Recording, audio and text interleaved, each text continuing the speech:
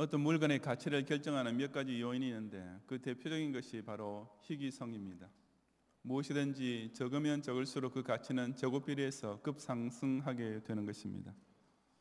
왜 다이아몬드가 그렇게 비싸겠습니까? 그것이 아름답기 때문만은 아닙니다. 사실 다이아몬드의 빛이 참으로 영롱하고 아름답긴 하지만 모조 다이아몬드도 저 같은 사람 눈에는 아무 차이 없이 아름답게만 보입니다. 그것이 유리나 철보다 더 재질이 단단하고 강하기 때문이겠습니까? 그것도 사실이긴 하지만 오늘날 합금 기술로는 다이아몬드보다 더 단단한 재질을 만드는 것이 가능합니다. 다이아몬드가 비싼 물건이 되는 가장 큰 이유는 그것이 아름답거나 단단하다는 데 있는 것이 아니라 그것이 아주 희귀하기 때문입니다. 만약에 길바닥에 밟히는 자갈 같은 것이 다 다이아몬드라면 물론 아름다우니까 장식품으로도 쓰고 단단하니까 고급용으로도 잘 쓰겠지만 아무도 그것을 수백 수천만 원을 주고 사려 하지는 않을 것입니다. 그런데 그처럼 희귀해서 이미 높아진 가치가 더 높아지는 경우도 생깁니다. 대표적인 예를 들자면 금입니다. 경기 침체가 계속되면 돈 있는 사람들은 대부분 금을 더 많이 사려고 하는데 그 결과 금값이 폭등하게 됩니다. 잘 아시다시피 금은 금융 대란이나 경제 공황에 닥게 될때 가장 안정적인 재산이 될 수 있기 때문입니다. 이런 원칙은 신앙생활에서도 적용되는데 바로 의인입니다. 신앙의 의인 역시 일단 절대 다수의 불신자들에 비해 극소수라는 희귀성 때문에 이미 특별한 가치를 보유하고 있는 존재지만 주변 사회가 영적으로 더 악화되면 될수록 그 가치가 더욱 높아지는 것입니다. 오늘 본문에 나오는 의인 신명이 그처럼 적은 수인 가족의 실로 소중한 자들인 동시에 그들이 저 악명 높은 소돔성이라는 죄악의 도성을 시대적 배경으로 삼고 있는 까닭에 더없이 귀중한 존재가 되었던 것입니다. 하나님께서 소돔성을 멸하러 오셨다는 말씀을 아브라함에게 들려주신 순간 아브라함 제일 먼저 지금 소돔성에 살고 있는 자기 조카 롯을 생각하지 않을 수 없었습니다. 그래서 그는 주께서 의인을 악인과 함께 멸하려 하시나이까라고 하나님 그 성에는 하나님을 잘 섬기는 의인들도 살고 있는데 그들을 악인과 함께 멸망시켜 버리시겠다는 말씀입니까 하면서 간절한 청원의 기도를 올렸습니다. 그러면서 아브라함은 우선 의인 50명으로 시작했습니다. 그 정도 숫자는 되어야 소돔성 전체를 구원해 줄 만한 이유가 되겠다는 아브라함 스스로의 계산 때문이었을 것입니다. 근데 하나님께서는 뜻밖에도 그래 소돔성에 의인 50명만 있어도 내가 그 성의 모든 주민들을 다 봐주겠다라고 아주 시원하게 대답해 주셨습니다. 아브라함은 하나님께서 너무 간단하게 응답해 주시니까 좀 더 숫자를 줄여도 될 것 같다는 생각이 들었습니다. 그래서 그 다음에는 45명, 그 다음에는 40명, 그리고 30명, 20명으로 차츰차츰 숫자를 줄여가다가 마지막에는 10명까지 그 선을 끌어내렸습니다. 의인 딱 10명. 이 숫자는 아브라함이 어찌하든지 소돔성과 그의 조카 롯의 가족을 살려보려고 하나님께 간절히 구한 끝에 약속을 받아낸 혹시 이렇게까지 깎아내리면 하나님께서 화를 내실까 벌벌 떨면서 간신히 받아낸 숫자였던 것입니다. 어쨌든 그 숫자가 10명까지 내려갔을 때 아브라함은 더 이상 하나님께 구하는 것을 중단했습니다. 정말이지 그보다 더 내린다는 것은 염치 없는 일이었을 뿐 아니라 아브라함 생각에는 그큰그 큰 소돔성에 최소한 의인 10명 정도는 충분히 있으리라고 판단했기 때문이었습니다. 하지만 의외로 아브라함의 추측은 빗나가고 말았습니다. 소돔성이 있는 의인의 숫자는 10명도 못 되었던 것입니다. 심지어 롯의 가족들까지도 다 의인이 되지는 못했습니다. 그 큰 소돔성이었고 그 많은 소돔의 백성들이었지만 그들은 겨우 10명의 의인 숫자를 채우지 못한 까닭에 온 성이 다 비처럼 쏟아지는 유황을 맞아 멸망을 당하고 말았던 것입니다. 하나님께서는 사실 얼마나 큰 자비를 베풀어 주셨습니까? 그만한 백성들 가운데 단지 10명의 의인만 있었어도 그 악한 소돔성 전체를 기꺼이 다 용서해 주려 하셨는데 실제 의인은 10명이란 그 적은 숫자에도 턱없이 모자랐던 것입니다. 오래전에 우리 경양교회에 일본의 기독교 지도자들이 약 40명 가량 찾아온 적이 있었습니다. 아마 일본에 있던 우리 선교사님의 교회들을 통해 신앙생활을 하고 있다가 경양교 소문을 듣고 한번 직접 방문했던 모양입니다. 그때 원로 목사님께서 그 일본의 기독교 지도자들을 만나 영접하면서 이렇게 말씀하셨습니다.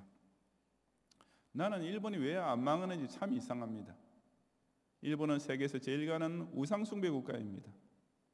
가는 곳곳마다 절들이 세워져 있고 온갖 종류의 미신과 우상들이 전국에 철철 넘치고 있습니다.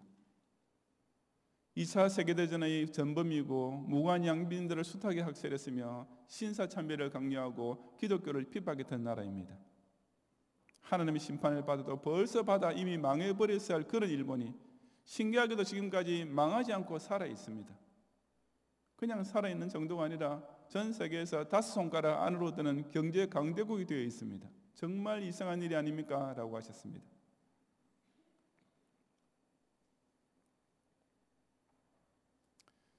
그런 후에 원룡사님께서는 이렇게 말씀을 이으셨습니다. 그 이유가 바로 여러분 때문입니다. 여러분 같은 소수의 기독 신자 때문입니다. 여러분이 바로 옛날 소돔성 같은 일본에서 10명의 의인으로 살고 있기 때문입니다. 일본은 바로 여러분 같은 극소수의 기독 신자 때문에 지금까지 하나님의 멸망을 당하지 않고 살아남아 있는 것입니다. 그러니 모든 일본 국민들 가운데서 여러분이야말로 가장 귀중한 존재입니다. 마땅히 멸망당했을 여러분 조국 일본을 하나님의 무서운 진노의 심판으로부터 지금까지 보호하고 있는 사람들이 바로 여러분 같은 의인 신명인 것입니다. 라고 하셨습니다. 그때 그 자리에서 그 말씀을 듣고 있던 일본 기독 신자들은 모두 다 눈물을 뚝뚝 흘렸습니다.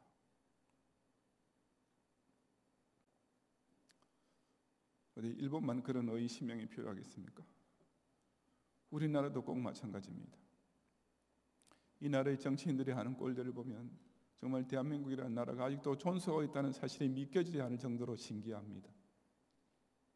국민에게는 IMF를 갖다 주고 김정일에게는 달러와 쌀을 갖다 바치면서 대신 자기 자신에게는 수백억 대의 선거 자금을 빼돌리고 수천억 대의 뇌물을 불우이 돕기 선금이라는 명명으로 챙기고 있는 정치인들이 득실거리는 이 나라입니다. 그런데도 우리나라가 아직은 그래도 망하지 않고 있는 것이 정말 신기하고 놀라운 일 아닙니까? 이 나라 사회가 온갖 음란한 문화를 받아들이고 개발하는 데 있어서 그야말로 최선진국이 되고 이 나라의 10대 청소년들이 그런 성인 문화에 일찍부터 눈을 떠 어른 뺨치도록 노는 모습들을 보아도 그렇습니다. 어른들은 10대에게 학비를 보태주는 좋은 일이나 하는 것처럼 원조 교제라는 것을 하고 고등학교 학생들이 밤에 술집에서 일하며 용돈을 벌어 자기 유흥비를 자급자족하는 능력을 자랑하고 있는 이 사회가 저 음란으로 악명높았던 소돔과 고모라보다 도대체 뭐가 조금이라도 더 나은 것이 있다고 아직까지 멸망하지 않고 있는 것이겠습니까? 정말 어떻게 대한 사람 대안으로 길이 보전이 될 수 있는지 어떻게 우리나라 좋은 나라 하고 노래가 나오시는지 도저히 알 도리가 없습니다. 이날에 들끓고 있는 이단 목사, 정치 목사들이 저지른 죄들을 보면 하나님께서 이렇게 오래 참고 계시는 것이 오히려 이해가 안 될 지경입니다. 섬기는 교회도 없이 목사는 명함만 가진 자들이 그저 미국 시민권을 어떻게 따가지고 그것을 가지고 북한 성균이 어쩌고 하는 미명 아래 뻔질나게 북한을 떠나드는 사람들이 수두룩합니다. 그런 정치 목사들이 사실은 온갖 친북 정치 활동을 벌이고 적그리스도 세력인 공산주의자들이 앞잡이 노릇이나 하고 있는데 정말 신기하게도 하나님께서는 아직 이 날에 대한 심판의 날을 늦추고 계시는 것입니다. 하지만 그 이유는 너무나 분명합니다. 우리나라에 이 대한민국에 이 조국에 그래도 의인 신명이 분명히 남아 있기 때문입니다. 의인을 악인과 함께 멸하실 수 없으신 하나님께서 이 영적, 사상적, 윤리적으로 난장판에 되어 있는 조국에서 그래도 10명 이상의 의인들을 여전히 발견하고 계시기 때문입니다. 그래도 하나님께서 참으실 만큼의 참된 기독 신자의 숫자가 이 대한민국에 있기 때문에 저 여러분이 이렇게 자유롭고 행복한 가정과 사회와 교회 생활을 아직까지는 누리고 있는 것입니다. 하지만 우리 대한민국의 미래에도 역시 이렇게 지켜진다고는 아무도 보장할 수 없습니다. 우리나라 역시 의인 신명에서 한 명만 모자라게 되어도 하나님께서 당장 징벌을 내리실 것이 틀림없기 때문입니다. 바로 그런 가들에게 지금 이 자리에 있는 우리 경양교회 SFC 운동은 한 사람 한 사람이 더없이 소중한 존재입니다. 바로 그 의인 신명을 채우기 위해서 우리 경양교회 초등부 주일학교가 여러분을 의로운 자녀가 되도록 의로운 하나님의 자녀가 되도록 가르쳤고 우리 경양교회 중고대 SFC가 여러분을 지금까지 의로운 학생 신앙 운동으로 키워왔습니다. 하나님께서 바로 여러분 한 명 한 명의 얼굴을 보아서라도 우리나라를 보호하사 만세하도록 해주시기 위해서 이 경양교회 주일학교 SFC는 여러분을 보고 이제 새 학교에 지나가고 새로운 사회에 나갔어도 그 소소의 의인 노릇을 꼭 해주기를 간절히 기대하면서 오늘 졸업을 시키고 있는 것입니다. 저는 이 사회와 이 학원가에 꼭 필요한 그 의인들 이 나라 조국 교회에 너무나도 소중한 그 소수의 의인들을 가리켜서 의인 신명 서클이라고 이름 붙이고 싶습니다. 영어로 하자면 뭐 The Circle of the Ten Righteous Men 약조로 줄여본다면 TRM 서클입니다. 이 서클은 학교 교무실에 가서 허가를 받지 않아도 좋습니다. 문공부에 등록하고 인가받을 필요도 없습니다. 모여서 발기총회를 하고 회칙 따위를 정할 필요도 없습니다. 그저 여러분이 진학하게 될 학교에서 여러분이 나가게 될 사회에서 각자 이 신비한 영적 서클 이 어려운 결사단체의 일원이 되기로 굳게 다짐하고 그 클럽에 속한 소수 의인답게 살면 됩니다. 아무리 여러분처럼 하나님 앞에서 어렵게 살려 하는 친구나 동료가 여러분 주변에 지극히 드물다더라도 그럴수록 여러분은 그 극소수의 의심명 서클에서 절대로 탈퇴하지 말고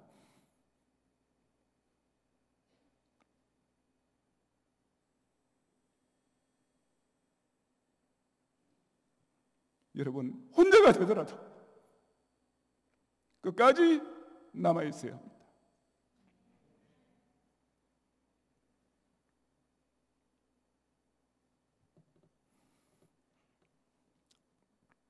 제가 지금부터 여러분에게 그 Ten Righteous Men TRM 서클의 회원이 되는 방법을 가르쳐 드리겠습니다.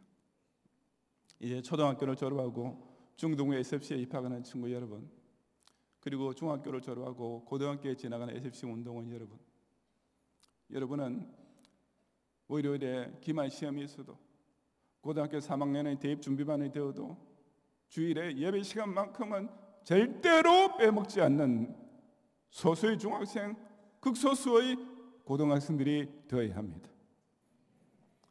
여러분은 학교 식당에서 점심을 먹을 때 곁의 친구들 이상한 눈초리로 바라보더라도 혼자서 손을 모으고 머리를 숙이고 감사 기도를 꼭 드리는 소소의 학생들이 이상한 학생들이 되어야 합니다. 여러분은 용돈이나 아르바이트에서 번 돈 가지고도 벌써부터 11조를 드릴 줄 아는 극소수의 어려운 학생들이 되어야 합니다. 여러분은 이메일이나 문자 메시지를 보내면서 여기나 상스러운 표현을, 표현을 절대로 쓰지 않는 정말이지 아주 극히 드물고 드문 어려운 청소년들이 되어야 합니다. 고등학교를 졸업하고 대학교에 지나가는 SFC 운동원 여러분 여러분 대학교 들어간 이후 오히려 입시 준비 때보다 더 열심히 공부하고 시험 시간에 부정회의를 절대로 하지 않는 소소의 어려운 대학생이 되어야 합니다. 여러분은 상하탑이라 불리는 최고학부에서 명실공히 최첨단의 전공 학문과 교양과학부터를 배우면서도 성경 말씀의 진리에 대해서는 1.2색도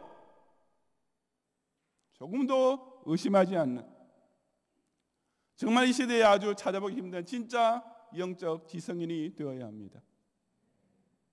여러분은 좌경화된 학생 운동권이 판을 치는 가운데서도 공산주의가 기독교의 명백한 적이라는 사실을 분명하게 자각할 줄 아는 이 여인석 신명의 서클에 속한 자유민주주의 시민으로 끝까지 남아 있어야 합니다.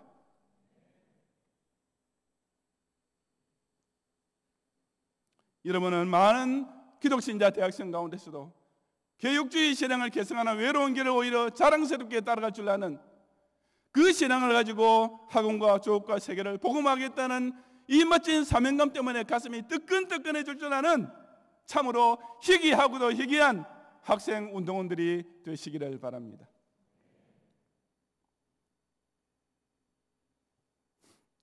고등학교에서 사회로 혹은 대학교에서 사회로 진출하는 청년 여러분, 여러분들은 건전하고 행복한 이성 교제를 하면서도 결혼 전까지는 육체의 순결을 꼭 지키는 이 시대에 점점 더 드물어지고 있는 의로운 청년 처녀들이 되어야 합니다. 여러분 꼭 술자리에서 만나야 말이 통하겠다는 거래처 사람들이나 퇴근 후 회식을 1차, 2차, 3차까지 같이 돌아야 가까운 직장, 동, 직장 동료가 될 수 있다고 생각하는 사람들이 모이는 자리를 피할 줄 아는 아주 드물고 드문 어려운 CEO, 어려운 직장인이 되어야 합니다. 여러분은 음란한 웹사이트는 아예 그 주소도 모르는 아니 인터넷 채팅을 할 때 음탕한 농담조차 한마디 입에 담지 않는 정말 눈 씻고 쳐다봐도 점점 찾기 힘든 어려운 문화인이 되어야 합니다. 여러분은 방공이란 말을 조차 이미 사진에서 벌써 사라지고 아니 방공이란 말만 들려도 수구 꼴통 정도가 아니라 아예 적폐청산 대상이 되어버리는 이해 처분이 없는 조국 현실 사회에서 방공이 아니라 승공, 멸공 정신으로 철저하게 모장된 씩씩하고 용감하고 믿음직한 청년 신자 사실 사회에서는 고사하고 교회 안에서 이미 그에 사라지려고 있는 극소수의 신앙의 선남 선녀들이 되어야 합니다.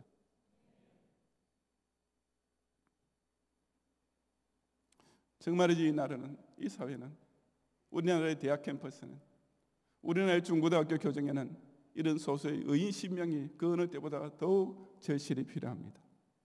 제발 여러분들만이라도 이 의인 신명 서클에 평생 회원이 되고 그 어떤 일이 있어도 이 소수 의인의 자리를 그야말로 평화 시대에 순교하는 각오로 지켜야 합니다. 왜냐하면 우리나라에 기독교인들은 많지만 하나님 중심, 성경 중심, 교회 중심이 아닌 기가 막히게 멋있는 신앙생활 원칙을 소유한 기독 신자는 생각보다 아주 적기 때문입니다. 전 세계적으로 볼 때에도 개혁주의 교회라는 것은 그 많아 보이는 기독교회들 가운데 점점 더 찾아보기 힘들어지는 극소수의 교단이 되어가고 있습니다. 이대로 가다가는 정말 몇 세대 지나지 않아서 그의 멸종될지도 모르겠다는 두려움마저 드는 것이 바로 개혁주의라는 희귀한 신앙 종족인 것입니다.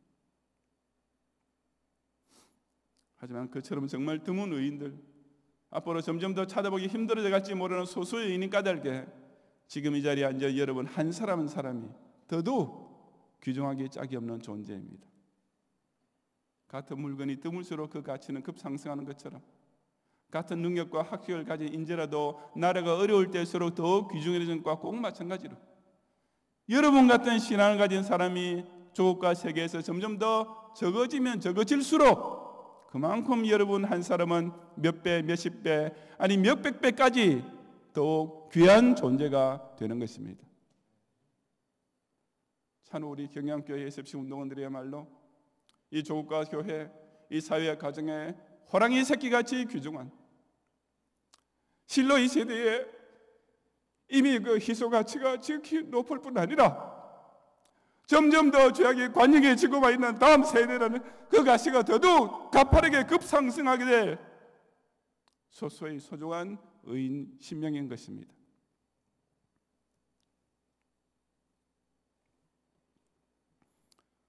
제가 정말 사랑하고 아끼는 SBC 운동원 여러분, 저는 매일 제 사택에 배달되는 신문을 단 한 줄도 읽지 않은 지가 꽤 오래되었습니다. 뜨는 기사마다 저로 하여금 우리 대한민국 현실에 대해 과거 그 어느 때보다 암담하게 만드는 소식들 뿐이기 때문입니다.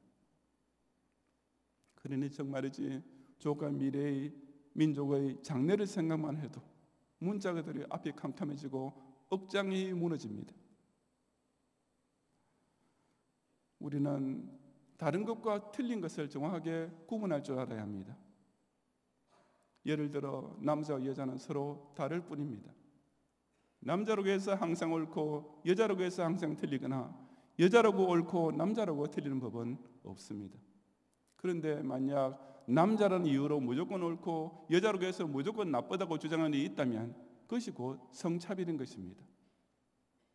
그 남자와 여자의 청년과 노인을 대입하거나 백인과 흑인을 대입해도 마찬가지입니다. 반면에 준법 시민과 범죄자는 서로 다른 사람이 아니라 전자는 옳은 사람이고 후자는 틀린 사람입니다. 마찬가지로 민주주의는 옳고 공산주의는 틀린 사상이지 이 양자가 서로 다른 것은 결코 아닙니다. 마찬가지로 기독교는 옳고 우상 종교나 유물론적 무신론은 틀린 것이지 피차 서로 다른 종교로 인정해 주어야 할 관계가 절대로 아닌 것입니다. 종합적으로 말하면 진리와 비진리, 선과 악, 공의와 불의의 문제는 결코 생각의 차이나 의견이 다른 문제가 아니라 어디까지나 한쪽은 옳고 다른 한쪽은 틀린 문제입니다. 그런데 불구하고 이처럼 틀린 것을 그저 다른 것에 불과하다고 은근슬쩍 돌리면서 그것을 피차 인정해주고 서로 포용해야 한다고 주장하는 자들이 있습니다. 오늘날 종교적으로 천주교 같은 혼합주의자들, 정치적으로는 종북 좌파 같은 매국노들이 바로 그렇게 여러분들의 사고 구조를 혼란시키고 세뇌시키고 있는 것입니다.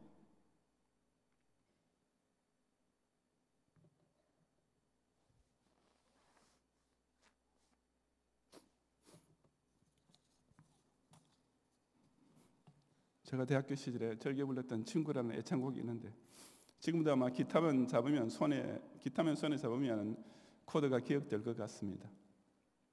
그 노래 이절은 눈앞에 보이는 수많은 모습들 모두가 진정이라 우겨 말하면 어느 누구 하나가 홀로 일어나 아니라고 말할 사람 누가 있겠소라고 이어집니다. 당시 군사 독재를 정당화시키는 말에 아니오라고 말할 수 있는 용기 있는 사람이 되자 하는 뜻에서 부른 노래였습니다. 그리고 그때는 그처럼 눈앞에 보이는 수많은 모습들 모두 진정이라 우겨 말할 때 일어나서 아니라고 말할 수 있는 사람이 꽤 많이 있었습니다. 하지만 지금은 어떻습니까? 동성애 합법화를 인권 존중이라고 우겨 말합니다.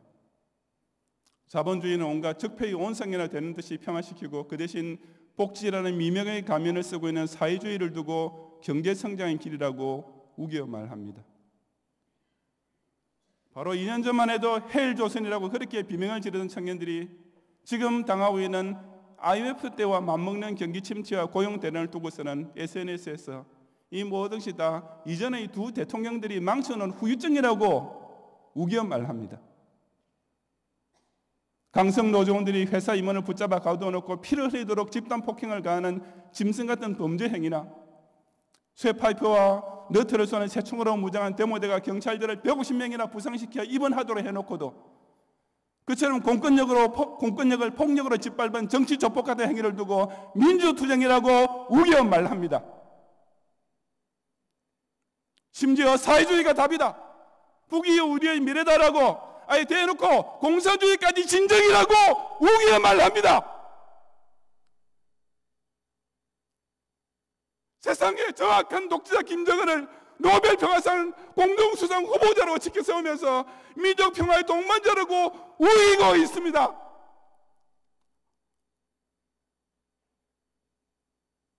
저는 우리 조국 대한민국 이렇게 종북 좌파가 마음대로 사람을 세뇌시키는 노름판이 되고 우리 대한민국의 절대 다수 대한민국 국민의 절대 다수가 이렇게 저질 국민의식에 사로잡히기는 날을 저희 생전에 제 눈으로 보게 될 날이 올 줄이야 꿈에도 생각하지 못했습니다. 그런데도 지금은 그 우기는 억지 논리에 그 우기는 괴변에 그 우기는 거짓 선덕에 그 하나도 아니라고 말하는 사람이 없습니다. 정치인, 언론인, 학자는 두말할 것 없고 목사 중에서도 홀로라도 일어나 아니라고 말하는 사람을 눈 씻고도 쳐다보기 힘든 것입니다.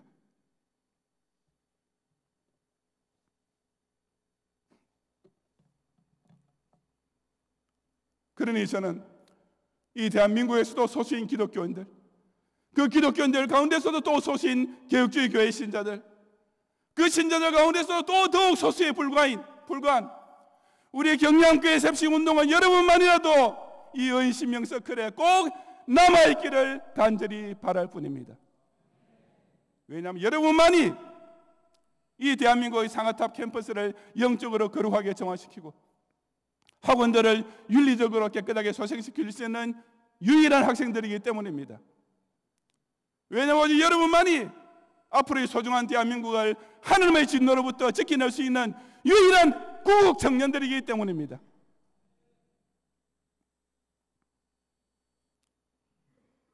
우리 SFC 운동 여러분, 이 Ten Righteous Men의 서클, 이 소수의 의인 신명의 클럽에 남아 있는 것을 결코 두려워하지 말아야 합니다. 여러분이 어렵게 살고 바르게 신앙생활을 하려다가 학교에서 따돌림을 당하고 여러분이 정직하게 살려고 하다가 직장과 거래처에서 비웃음을 당하고 여러분이 약한 세상을 조금이라도 더 밝히는 작은 빛이 되고 이 더러운 인간 사회를 조금이라도 더 정화시키는 소금이 되려 하다가 원수 마귀와 그의 사주를 받은 보신자로부터 핍박까지 당하더라도 절대로 물러서거나 포기해서는 안 됩니다. 왜냐하면 여러분이시면 우리 대한민국은 그대로 끝장이기 때문입니다. 다른 사람이 아니라 바로 여러분 한 사람 한 사람이 이 조국과 민족에 꼭 필요한 의인 신명의 숫자를 반드시 채워야만 우리에게 아직은 희망이 남아있기 때문입니다.